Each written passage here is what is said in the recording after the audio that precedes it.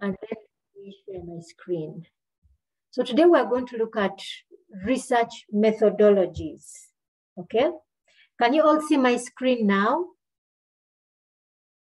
Yes. Okay, so today we look at research methodologies. Last week, we looked at types of research, where we looked at two overarching generic researches, then the, the, those that fall under them. Um, I believe there were basic research and, and empirical research.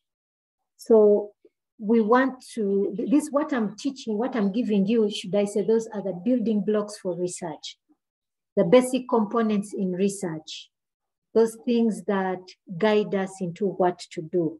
So today we are going to look at um, research philosophy. Now, when we look at that word philosophy, this morning we had a, a long discussion with the, with the class about what the word philosophy means. Um, can I just ask uh, Jovia to quickly type in the word philosophy, just philosophy. What does the word philosophy mean?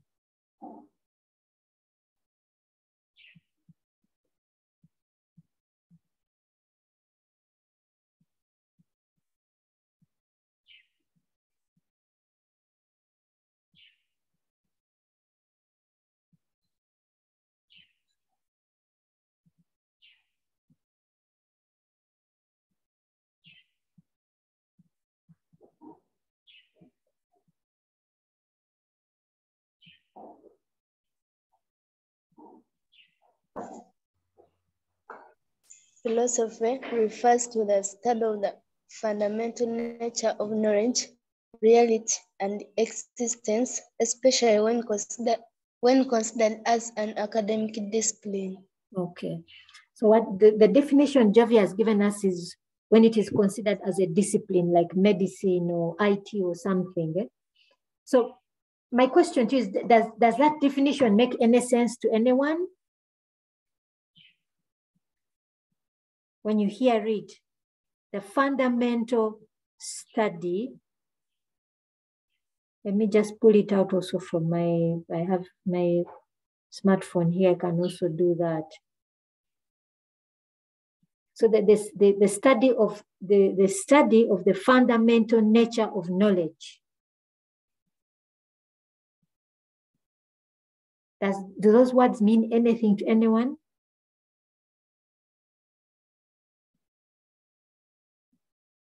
Yes, madam. Yes, what, what do you think of when you hear? I think of studying or going deep into a certain study, going into a certain study, going deep into details. deep into details? Okay, that's a, that's one. Eh? That's one way of putting it. That is true. Eh? Now, let me also give you something. One of the fathers of philosophy, Socrates. eh? I don't know if any of you have heard of Socrates. He was uh, one of the first known philosophers in history of humankind. eh? He was Greek. Most of most uh, first initial, uh, first philosophers ever known were Greek. So there was Socrates, Aristotle, Plato, all those were Greeks. So Socrates asked a question. Let me give you an example of a philosopher, what they would think about. Socrates asked a question How do I know that I exist? Let me ask, for example, let me ask Vincent Segunya. How do you know that you exist?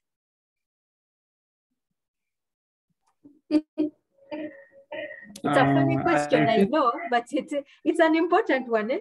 because Socrates uh, said, what if, what if, what if I don't actually exist? What if I'm not here? I think I'm here, but I'm not here. I think what what I do really determines whether What you I do. exist or I don't. I think I, but that's a good answer, Vincent. There was, there was, I watched a movie, I forget the title, where there was uh, Nicole Kidman. It was acted by Nicole Kidman. She had two children, and she, it starts with her saying that, that there are people who are coming into her home, and uh, and she she kept the the curtains of her house closed because she was saying her children had a certain disease they couldn't be exposed to the light, and so on and so forth. And then she she she said that the people who were in her house, they were trying to get her daughter to possess her and, you know, things like that. And the whole movie, as you're watching it, you're thinking maybe there are ghosts in her house. She closes curtains, somebody comes and, and opens them. Then at a certain point, two people come to work for her. And then as the movie goes on, we realize that actually it was Nicole Kidman and her children and the servants that were dead and that the, the people who were in the house were actually the people of the reality now. They moved into the house. They, during the day, they try to open the curtains. This one closes. You know, and you actually find she's the one who is the, the ghost, not these people. So that question, uh, Vincent uh, say, answered a good question. Answered it well. And this is how Socrates said, how do you, how do I know I exist? Then he said, because I think. He said, I think, therefore I am. Yeah.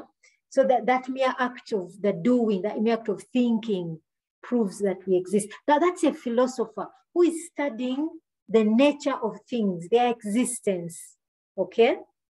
And uh, so th that is typically a philosopher. Now, if you look at the second, on Google, if you look at the second definition, it says a theory or attitude that acts as a guiding principle for behavior.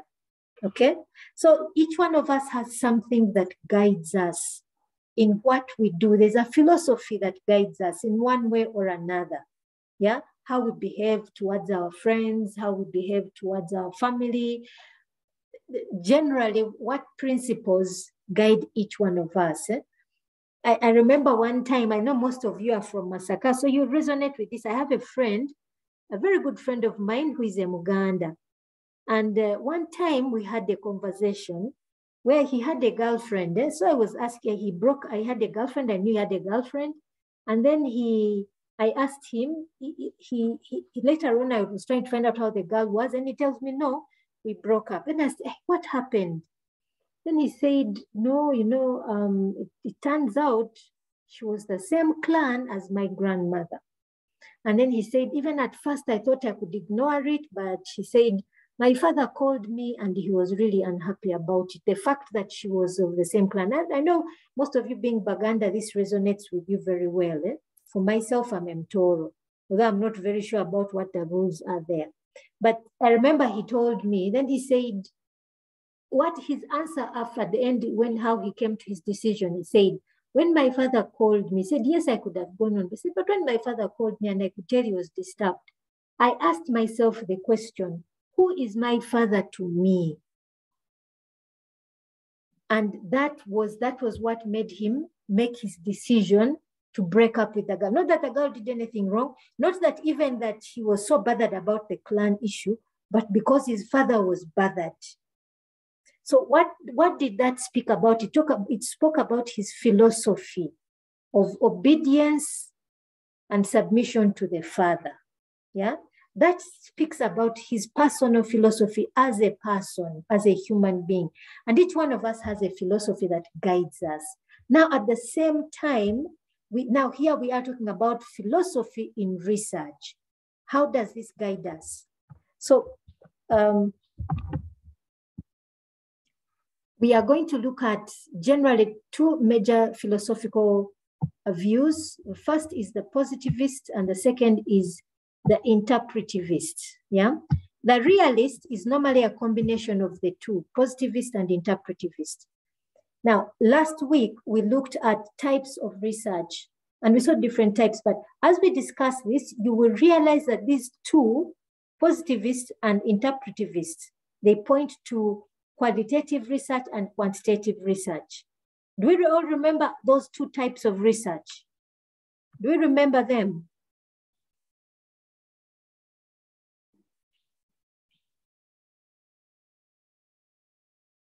Hello?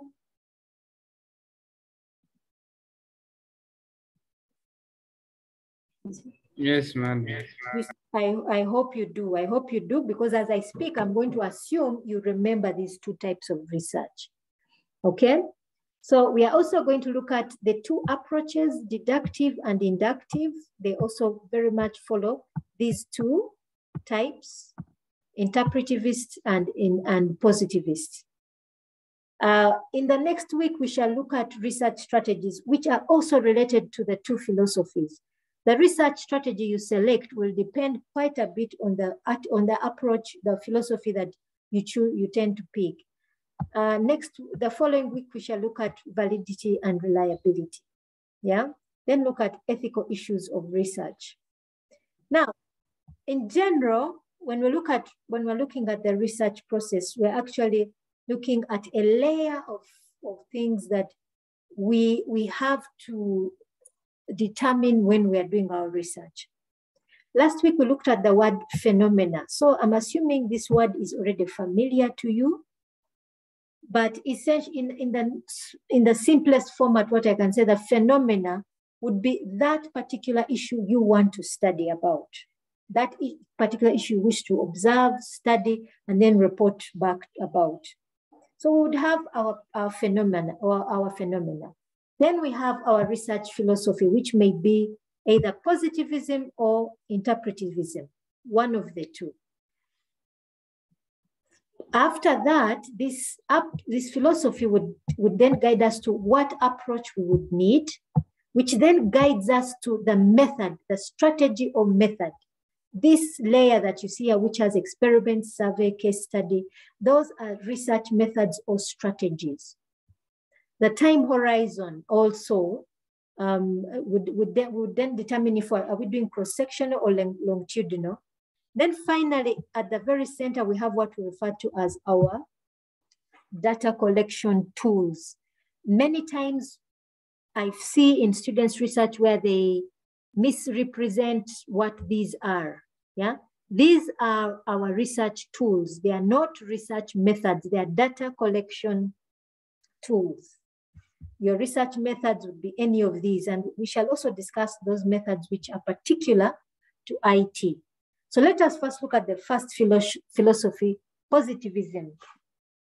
Now, there is a feeling amongst people who are um, who follow this philosophy that this is the objective way of carrying out analysis. And to a certain yes, to an extent, that is true, because a positivist researcher strictly looks at what is quantifiably observable.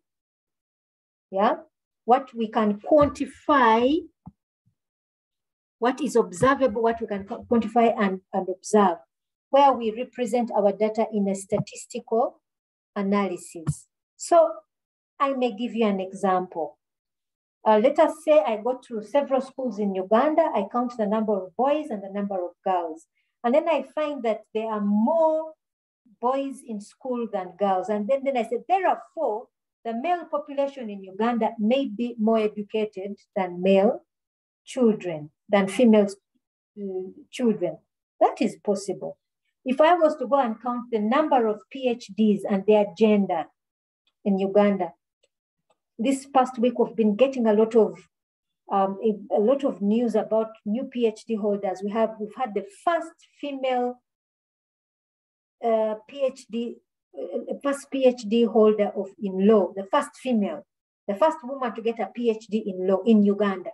So that is something good to celebrate about. So imagine we were we were to do um, a survey on on all PhDs in Uganda and then quantify them against male and female. And then we find that men are more than women. And then someone make a, make a conclusion that men are, are more highly educated in Uganda than women.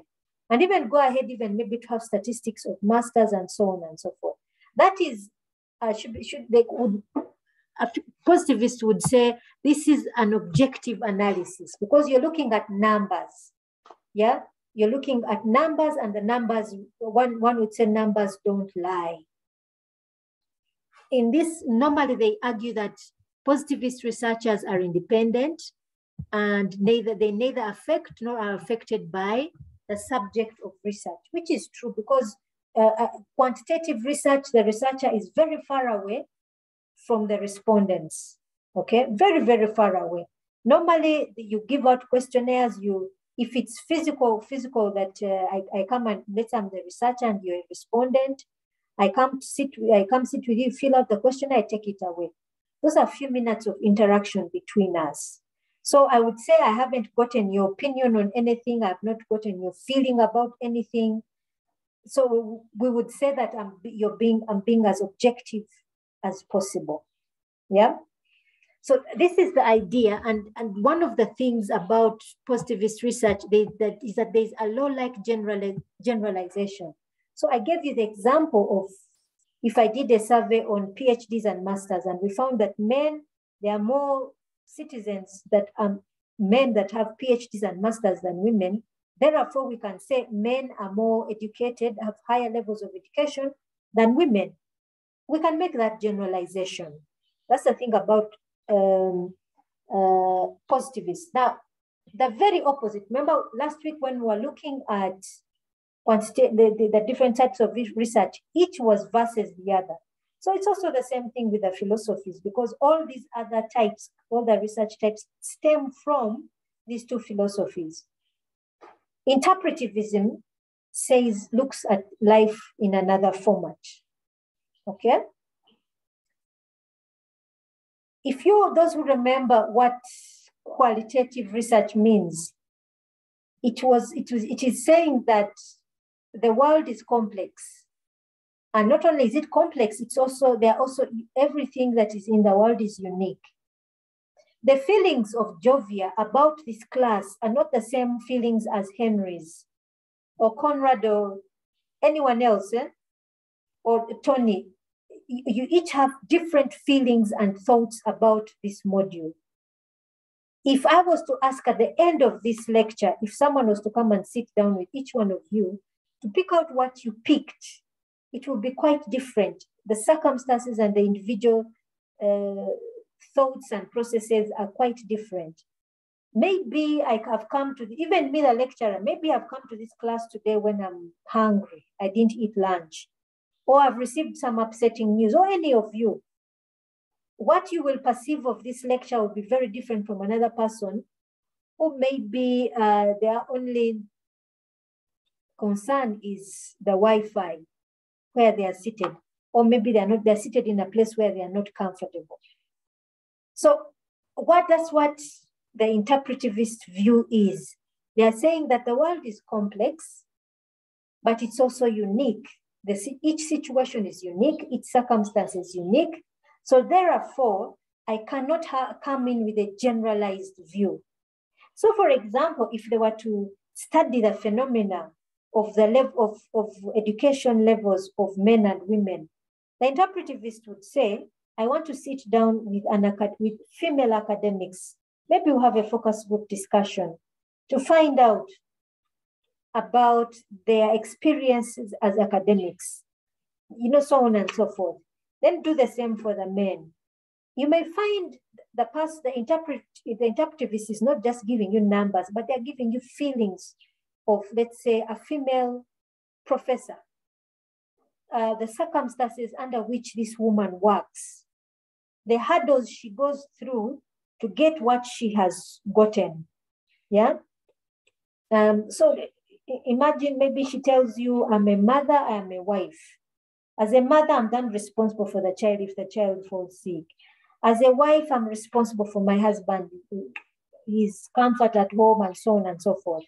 This would be very different from a male professor who may be a father, but their only concern is providing the financial perspective. So you'd find that the interpretivist researcher wants to get a holistic picture, hmm? needs to get the details of, uh, uh of, of, the situation. Now, no, most of the time, there are arguments from the positivist side that the interpretive side that is not objective.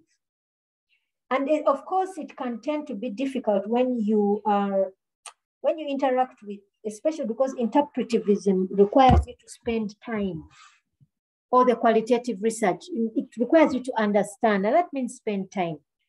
So when you do that, of course, your emotions get involved.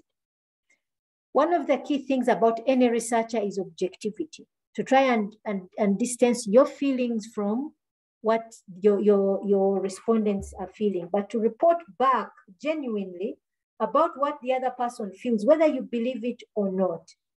Like myself, I, I, I, was giving the example in the first in the morning class. How when I was doing my research in India, India is a, a it's a parish within um, Ngozi sub-county. So in India, when I was doing my research, I spent some time with the community, which community was made up predominantly of what we call VHTs, a village health team. These are ordinary community members that provide basic health care to people in the village. So I remember when I had a bias when I went in. Um, that time when I was doing my research, that particular community was engaged in a project with University of Notre Dame in the US. And I remember one of the first workshops we had when we went to, when I was participating, the first things the VHTs said as soon as they saw the donors were, oh, we need bicycles, we need bicycles so that we can move around, visit our, our people and so on and so forth. And then there was another lady with me and she said, now look at these people. Yeah, because they've seen a white person, now they're asking for money. So of course, immediately she said it also mean my biases came out. But immediately I had to caution myself that, you know what? This is the reality of this community. If they are living in poverty, that is their reality. It's also the same reality that's going to affect them to be able to use a mobile phone application. If they can't afford a bicycle, what if they can't afford also a mobile phone? What if they can't afford to put airtime on their mobile phone? What do they do? So that reality, I had to accept it as the community had given it to me. Now, of course, the positivist side normally say because you're dealing with the feelings and perceptions of people, that biasness will come in. But normally, it's also important to report that what the feelings of those people are, whether you believe it or not. Any question before I go further?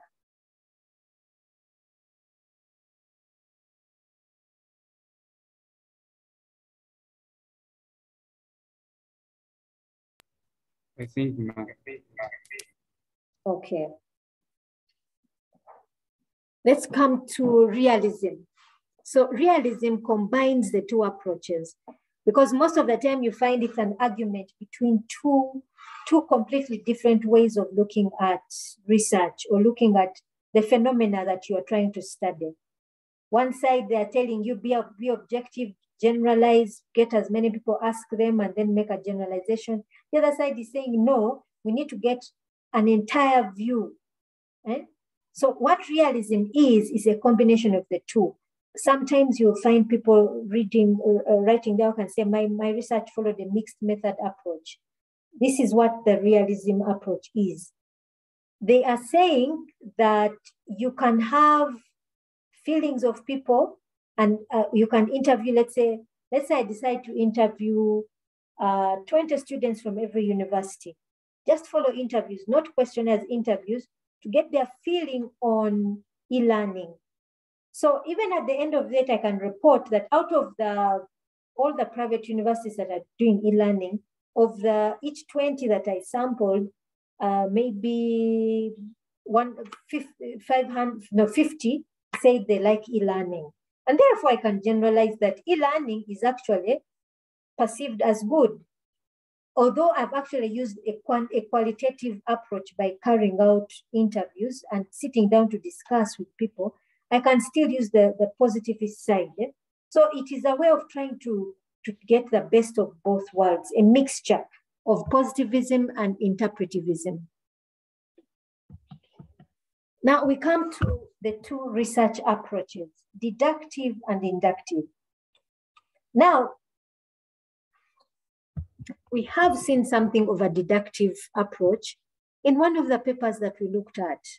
Remember the paper I gave you on, um, it was the paper on, on, on what? On multitasking. That is typically a quantitative type of research where they had a theory they developed a hypothesis, a statement to study, and then designed a research strategy. They used the experimental research to test the hypothesis. Yeah? That is a typical example of, of, of deductive approach. Inductive, this is where you're building theory. You first collect the data to come up with a concept or a theory. Now let's understand it in detail. When we think about deductive research, we, we have to think about quantitative research.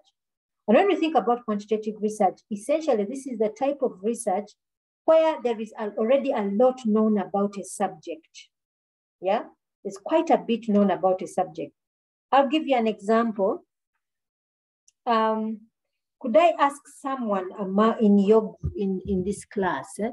Maybe let me ask Tony.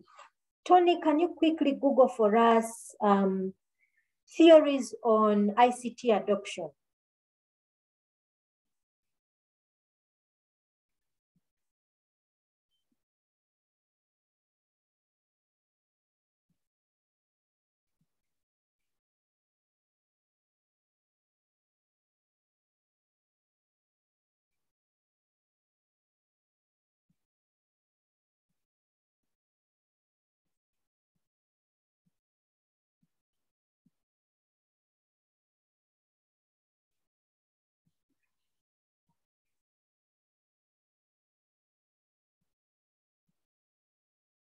Tony, have you found anything?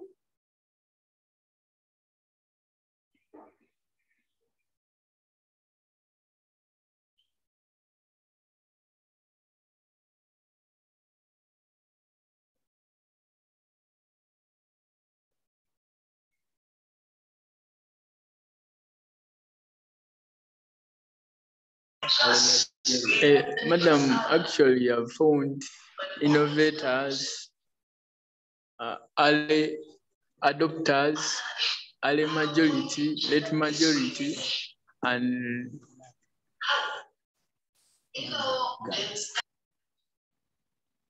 Okay, okay, we got cut off there.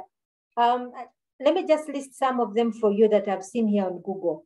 The, the six theories of theory, of the, there are six theories so far that we know of which are looking at adoption. Adoption basically means that you implement anything ICT related or IT related and to try and predict if this system or application, whatever it is, is going to be used by users. We have, we develop systems as IT professionals, as ICT professionals, and we implement them. It's not a guarantee that they'll be accepted or not. They, they will start using them or not. Yeah. So there are several theories that have been developed. Um, here I'm seeing one of them, which is theory of reasoned action, TRA. Then we have the technology acceptance model TAM. We have technology organization environment, TOE framework, the theory of planned behavior, T, TPB, the unified theory of acceptance and use, UTAUT. Then technology pedagogical content knowledge. That's another theory. There are quite a number of them. Eh? Uh, the others talk about diffusion theory and, and others, eh? and so on and so forth. Now, what does it tell you? That a lot of research has gone into ICT adoption. So they've reached a point where you can actually make a prediction on whether technology will be accepted or not. And this theory will have guiding principles. Now, I'll give you an example of TAM, that is the technology acceptance model.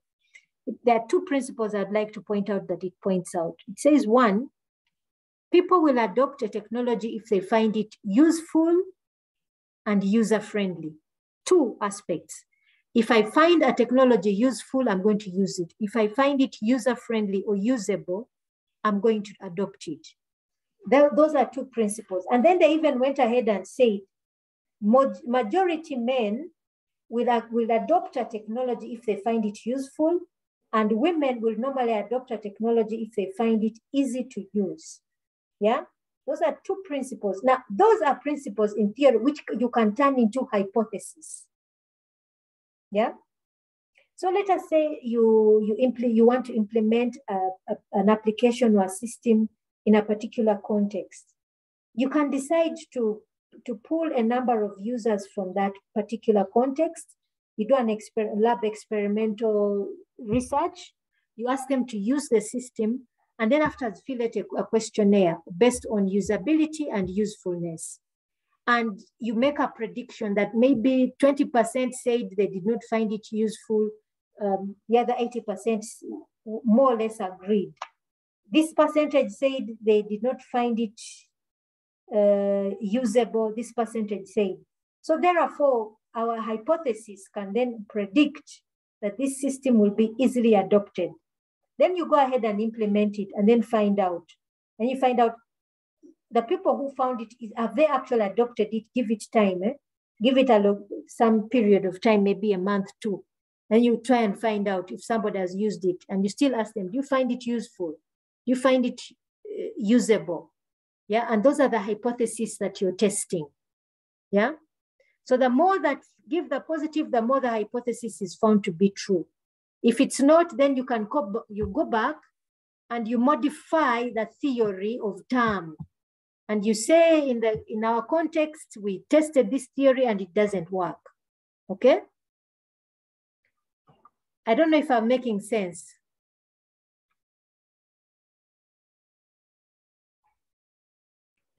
Madam, pardon. Pardon? Pardon, hello? Pardon. Uh, did uh, you want me to repeat? Yes, madam. Okay. The whole thing on deduct on on on hypothesis. Okay. Here we say deduct deducing a hypothesis, a hypothesis from a theory. Yeah. I've given you an example of a theory in the field of adoption, okay, which is TAM, yeah? You can just go and research on each term. Jovia, do you know what we mean, but what we're, what we're saying when we refer to, as when we refer to um, adoption, ICT adoption?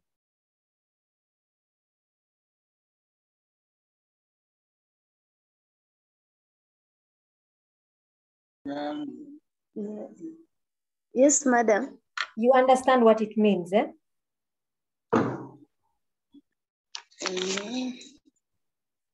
Pardon? Maybe. Maybe. Maybe. What is, what is it that you don't understand? Where, how far do you understand that term, adoption, adoption of ICT? It's like acceptance. Pardon? Adoption, adoption is acceptance. Acceptance. Yeah, that you're that you're actually using a technology. Okay. Mm. So um, an example is all of you are using uh, Zivaste, not so? Yes. Which means you have adopted it. Mm -hmm. Uh, all of you are using uh, Moodle, not so? Yes, madam. And which means you have adopted it. All of you are using Zoom. Now, I'll even go further. All of you, most of you are using smartphones. Yeah? Yes. Most of you are using computers. You may have a laptop or something. You've, all those are technologies you have adopted. Most of you are using WhatsApp. So those are technologies that you have adopted. Yeah? Now, in the field of adoption, yeah, in the field of adoption of ICT, there have been a number of theories that have been developed, meaning that that area is an area which has been well researched. There's quite a lot that has been known. I asked someone to just Google and see if he can find anything on theories of adoption, and there are quite a number of them. So I picked out one of them, TAM, yeah, technology acceptance model. So this is a, a theory that helps us predict whether technology is going to be adopted or not. Okay, so let us say one of you wants to do research using the positivist and deductive approach on adoption. Okay, maybe you want to study anything. Let us say you want to study e-learning, specifically Moodle. Okay, so you get the theory of TAM, yeah? You get the theory of TAM and study the principles it puts forward. A theory is something that helps us predict the way something will behave. Any theory. Um, we have talked about before the theory of uh, Darwin's theory of evolution. We've talked about it in this class. And that theory says that every so number of years, species will adopt their environment. So they evolve. Yeah. So, and, and, uh, and indeed someone can decide to do a study, uh, maybe a longitudinal study to find out the way um, our, our body structures, eh? Maybe they would say, we want to, to examine people who live in the Rwenzori region, they were Toro, they were Konjo, they so on and so forth. And we find out if uh, maybe a hundred years ago, they do a, find a research a hundred years ago, are we of the same, let us say, our, have, have any of our phys physical features changed? Maybe our height, our size, um, education levels, all those are all those are variables we are trying to determine. it. So we would be trying to say uh, people who lived in Uganda, in let's say in the Rwenzori region, region 100 years ago, and those who are living now, uh, we want to measure their height. Those are the variables, specific variables, their height, their weight, um, their um, age, how, how, what is their lifespan, all those are variables we're trying to say. Maybe somebody puts forward a hypothesis that the longer people stay in a certain environment, the more their bodies evolve and they to adopt that environment, which means they, they, they with time they will grow bigger, they will grow stronger, they will um, they will have longer lives. Like maybe people who lived 100 years in the Rwenzori region were dying younger than before. So that, that there you're testing the theory of evolution. Yeah. So you pick out variables like height, weight, uh, age span, and things like that. Eh? And maybe the, the, the, the research will show that people are growing taller, they are growing more healthy, they are living longer. Yeah, so which means they're adapting to their environment much better than their species, the species when it was 200 years ago. Okay?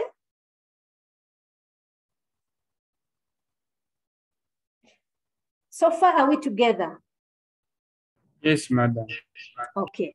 Now, in, in, in, in, in, the, in what you're going to measure, the variables you're going to measure, you state them in a statement, an operational term, eh, which proposes relationship between people, between two, two, two or more variables. So in what I was stating, I was talking about a relationship between um, lifespan, height and weight, and the environment. Yeah, the environment 100 years ago and the environment now. Yeah, the environment and height and weight and lifespan. Yeah, so that is what that statement is a hypothesis. It is basing itself on uh, Darwin's theory, which says that, that the, the, the species are going to evolve, which means, which means they're going to adapt to the environment. So what we're basically saying that the longer a species stays in an environment, the longer the body adopts itself, it evolves. So there, there tends to be a positive relationship between an environment and time. Yeah, it causes that that time period causes a positive growth in certain with certain variables. So the person who is carrying out that research, hoping they actually have data of people in Rwenzori region, maybe 100 or 200 years ago, they would test that hypothesis. They would go and get data from maybe 200 years ago, people living in the, the Rwenzori region, what was their average height, average weight, and average lifespan. And then people today living in this same region, what is their average height, average weight, and if it shows that there is a positive growth, meaning the people grow taller, people uh, um, have a healthier body mass index, and people are living longer, it means Darwin's theory is true. We have evolved over time. Okay? So far, are we together? Yes, madam. Yeah. Yes, madam. Now we can also bring this into the theory of TAM. Eh? Now remember I said TAM is also a theory which is specifically focused on adoption. Now TAM as a theory proposes certain things. TAM says that a system would be adopted if it is perceived to be useful And then the theory will be adopted if it is perceived to be usable. So let us imagine you carry out an experimental design, uh, laboratory, experimental laboratory research. You get your system, put them in a certain lab, and ask them to use the system. Then give get their perception. Is it useful? Majority say yes. Is it usable? Majority say yes. Then you say, okay, let me put it now in a working context. And then I ask people after maybe a period of two, three months, maybe even six months. Yeah, six months. I ask the same group of people. And you may find that the situation has changed. What in the lab where they said it was useful, now they have said no. Yeah. So what does that mean? It has disproved the high working hypothesis, the operational hypothesis. Yeah. It has disproved. If we find, however, it, people still perceive it to be useful, then we can say the hypothesis is true. If there's a positive relationship, then we can say it, it we have approved, we have confirmed the hypothesis. Yeah. So far, are we together?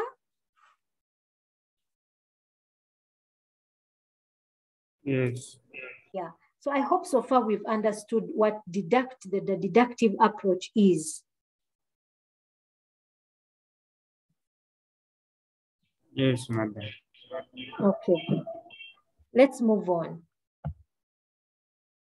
Uh, we could we could go into this this example that is here, but I don't want us to waste time because I've already given you enough examples. Eh? Let's look at inductive research. Yes. So the inductive research is the very opposite.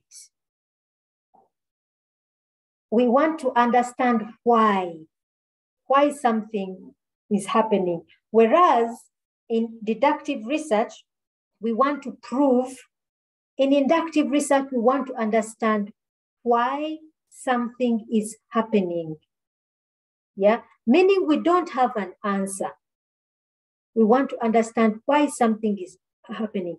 We need to make sense of the data. Whereas in deductive research, the data basically says yes or no. Here we are trying to make sense of something. Okay?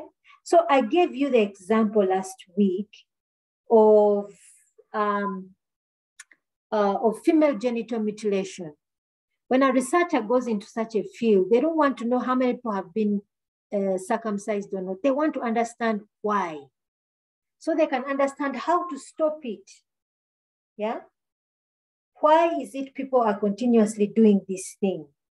So you collect a lot of data and you try to make sense of it. The big difference with inductive research is that here you're beginning to build knowledge, which knowledge is going to help you formulate theory or concepts. Yes? Formulate theory, which meaning by the time we do inductive research, we know little or next to nothing about something. So we want to answer the why question. Why, how, what? Yeah. Whereas opposed to the inductive where we have a hypothesis, a statement which we either prove or disprove or modify. Yeah, where we try to see relationship between one thing and another. Here in inductive research, we are trying to understand what is going on, what variables exist in a context, and how do they affect one another. Yes? So far, do we understand, do we see the difference between the, these two, inductive and deductive? Yeah. Okay. So here I will leave this page. I think you can go through it yourselves and some major differences between the two approaches. But I want to understand, I want you to understand which approach would you select. Number one, it would depend on what is known about a research, the wealth of literature. Like we said, with deductive research, normally we know a lot about something. A lot of research has been done and theories have been developed. Yeah. So if theories have been developed, meaning we can maybe try to, to, to ascertain if there are actually relationships in a given context, eh, in a certain given context. so the wealth of information that is there, how much has been studied about a particular area. Two, time. Yeah, deductive approach is very quick, really quick. In the morning, I gave the example of a research that i have done with Palliative Care Association of Uganda. Um, some of you may know, I, I don't know if you know what palliative care is. Have we heard about palliative care? Uh, I haven't an idea. Pardon? May I, haven't, I am reading about it. Okay, okay. So let me explain to you a little bit so you can understand the kind of research I did with, with this organization. Now, palliative care, in, in healthcare, we have different types of healthcare. We have what the first type is curative. So curative is, let us say you have malaria, you go to a hospital, they give you anti-malarial drugs. You maybe have a bacterial infection, they'll give you um, antibiotics. That is curative, where you're sick and they try to give you medication to cure your disease. The second is preventive. So preventive is uh, things like um, when you hear people giving talks on using mosquito nets while you sleep so that you prevent uh, contracting malaria uh, boil your food, wash, wash uh, your utensils in a clean place, and so on and so forth pre to prevent bacterial infection. Um, for those who are HIV, for H prevention uh, transmission of HIV, uh, use protective sex, be faithful, and so on and so forth. Oh, that is preventive health care. Then the last one is palliative. So palliative care is sometimes known as end of life care normally given to manage pain. So you mostly you find people who are um, suffering from cancer, especially in the last stages, life is extremely, extremely painful. So um, these people need for the person to at least live a life of dignity. They will ensure that they treat your pain. Yeah. So it involves those other things, not just pain, they involve other things. There is also counseling and maybe if you have cancer and you've, you've been told there's nothing more to do, they will help you with things like write your will and things like that. But primarily, when I was involved in the research, uh, what, what has happened in Uganda is that this Palliative Care Association uh, carries out certain things like, for example, train a healthcare, healthcare worker in palliative care so that you find that most health facilities you go to, there is a palliative care nurse who can prescribe to you morphine when you're in extreme pain um, and, and provide any other basic service. And also they ensure that each of those health facilities have morphine. So morphine is what is used especially for people with HIV, people with cancer, and sometimes also people with uh, sickle cells anemia, because it also can be a quite a, a, quite a very painful disease. So in 2021, they needed to find out uh, morphine access in these health facilities. So as a researcher in, involved with PICAL, um, we designed a questionnaire, we put it in a form, in a Google form and sent it to the healthcare workers all over Uganda. So all these people had to do was fill in the content, would fill the respond to the, uh, fill in the questionnaire and send it back. And then I would receive those responses in an Excel file and then analyze them either using Excel or SPSS, any. So um, that is quite quick. You can do that in a month or two. This is very different from qualitative or inductive approach. Now, with qualitative, quantitative research, it's about how many. The more people you, you have responses to, the more you can generalize. With inductive or qualitative research, it depends on how deep you go. Yeah. So I gave you the example of the research I did in India, where I spent a lot, a lot of, I mean, every single workshop these village health teams had, I was present. Then I had, I would sit with them as they, as they were trained for, uh, on using a mobile phone. I sat with them as we had um, different, just basically different things. So that really took a lot of time. Eh? Conrad, you have a question? Yes, madam. uh, it's not a question, it's just a light up. If uh, I want to, to be enlightened. Yes. So if uh, say qualitative research, does it depend on uh, the number of questions you put on the questionnaire? Because you, you said how deep you go. It's how deep you go. So um, let me even let me give you an example. When when let's it, it's how deep you go. It's, it's how far you go to understand a situation. So let me give you an example. I sat down with community members as they carried out their training. I just sat and listened. And I went for about five or six trainings of theirs where I didn't ask any question over a period of a year. Then I had focus group discussions with them where we gave them general questions and they responded. And you could even, you could say, let me pull a, a, a person aside and understand more about these things. So you may have a number of questions and you may even decide to go off script the questionnaire and to try and go deeper. Maybe they'll say something which triggers you to ask more and more so you can understand more. Yeah. So it isn't the thing with qualitative research, it's not just about getting the surface data, but getting the, the something really in depth. Yes. So sometimes qualitative research can take a long time. Like for me, it took me two years to collect that data. Other times, no. Uh, it may take a, a, less, a shorter time, but normally qualitative research takes quite some good time. What some people do is decide to combine the two, quantitative and qualitative, where the person says, I will have an inter interview sessions, but I will also give out questionnaires so that they combine the two approaches to try and save time. Conrad, have I answered your question? Yes, madam. Yeah, so you can see from my example that deductive approach takes a short time to collect data. So I gave you the example of the Picao case where it took me a few months, a month or two. The only problem was when you saw um, the healthcare worker that's not responding, then you call them up that, oh, could you please respond to my questionnaire? And then inductive, which really takes time, where you have to spend a lot of time with people, sit down with them, observe them today, tomorrow, the next day, really trying to understand something. Then there's also the question of risk. Yeah.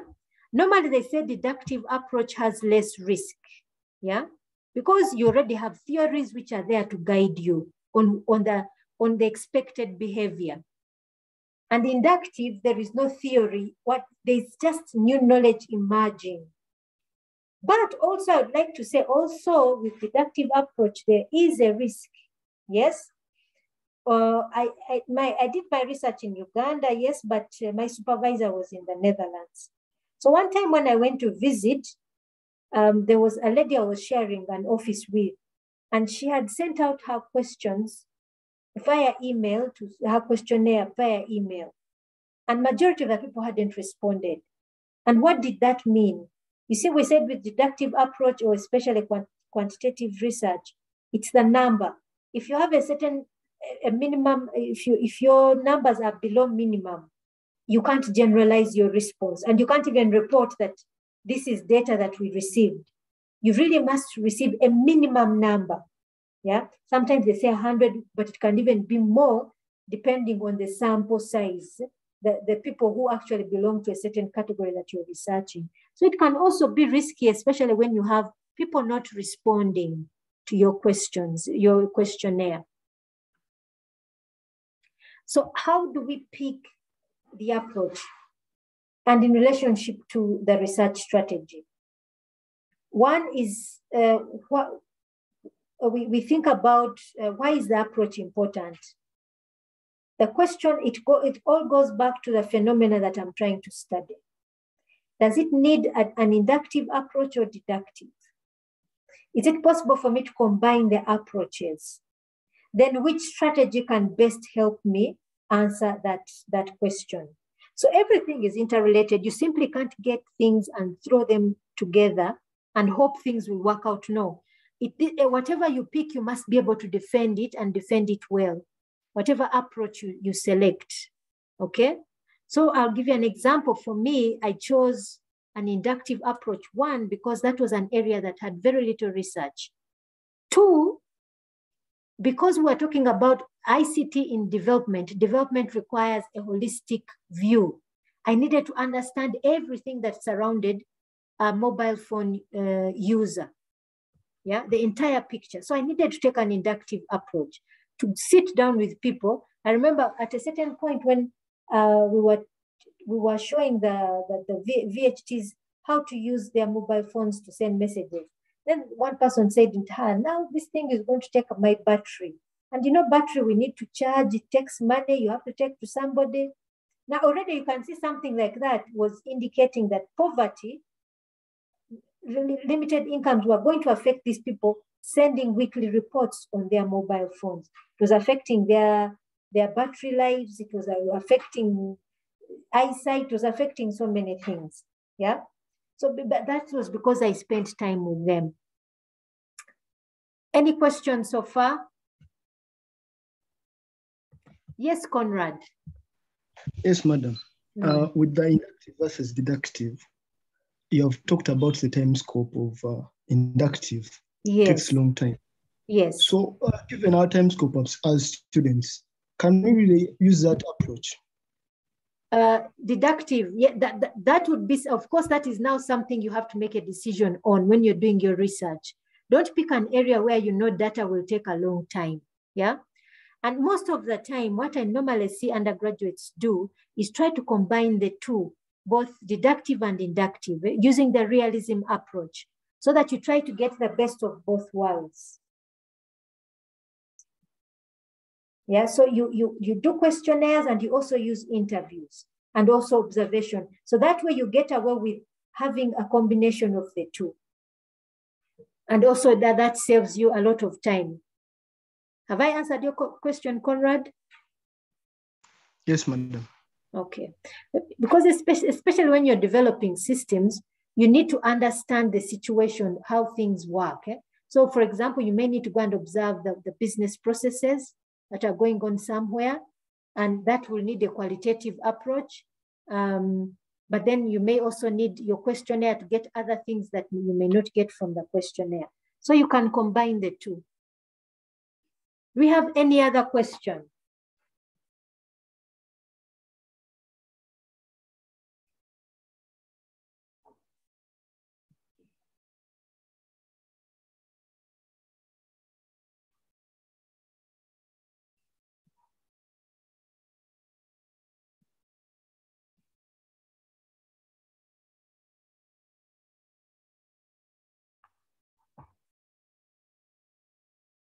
No question? Okay, okay. So um, what I will do, we shall end here. Then next week we shall look at research strategies and have our first assignment, okay?